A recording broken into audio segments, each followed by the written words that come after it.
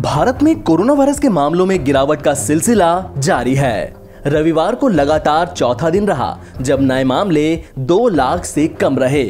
पूर्वोत्तर के कुछ राज्यों को छोड़ दें तो लगभग पूरे देश में केसेस घटे हैं। दूसरी लहर में कोरोना वायरस के नए मामलों में जितनी तेज़ी से इजाफा हुआ था, उतनी ही रफ्तार से केसेस कम भी हो रहे हैं। दूसरी लहर में औसत डेली केसेस में 50 प्रतिशत की गिरावट पहली लहर के मुकाबले आधे समय में दर्ज की गई।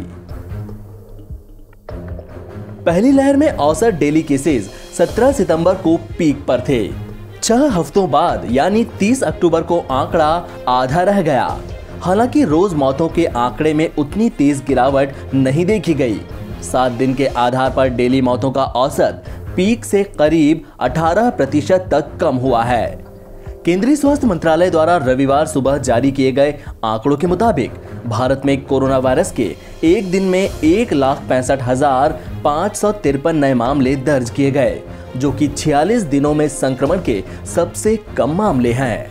इसके साथ ही देश में संक्रमण के मामलों की कुल संख्या दो करोड़ अठहत्तर लाख चौरानवे हज़ार आठ सौ पर पहुँच गई है। आंकड़ों के मुताबिक, डेली केसेस की दर गिरकर आठ दशमलव शून्य दो प्रतिशत रह गई है, जो लगातार पांचवे दिन दस प्रतिशत से कम है, जबकि साप्ताहिक संक्रमण दर नौ दशमलव तीन छह प्रतिशत है। देश में बीमारी के कारण जान गंवाने वाले लोगों की संख्या बढ़कर तीन लाख पच्चीस हज़ार नौ सौ बहत्तर हो गई। पिछले 24 घंटे में तीन हज़ार चार सौ साठ मरीजों की मौत हुई है।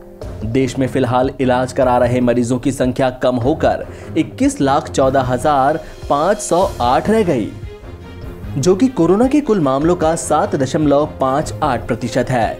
वहीं कोरोना वायरस से रिकवर होने वाले लोगों की राष्ट्रीय दर इक्यानवे दशमलव दो पाँच प्रतिशत है। आंकड़ों के मुताबिक इस बीमारी से उबरने वाले लोगों की संख्या बढ़कर दो करोड़ चौवन लाख चौवन हज़ार तीन सौ बीस हो गई, जबकि मृत्यु दर एक दशमलव एक सात प्रतिशत है। मंत्रालय ने बताया कि शनिवार को कोरोना के लिए बीस लाख तिरसठ हज़ार आठ सौ उनचालीस सैंपल्स की जाँच की गई। इसके साथ ही अब तक कुल चौतीस करोड़ इकतीस लाख तिरासी हज़ार सात सौ अड़तालीस सैंपल्स की जाँच की जा चुकी है।